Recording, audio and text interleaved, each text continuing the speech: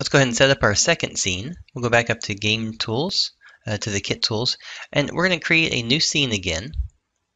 This one's going to be called Level 2. And we'll click on the Create button for this one as well. Now notice what we do have with this one. Now it says Level 2. We have the exact same in terms of what's inside. So we're in Level 1 and Level 2. We have the character, we have the square scene.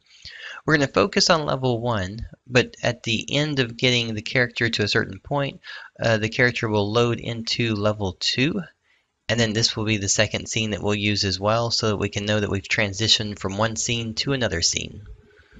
Alright, so that's going to be our basic setup for our blank second scene, which is just going to be the character inside of the default scene.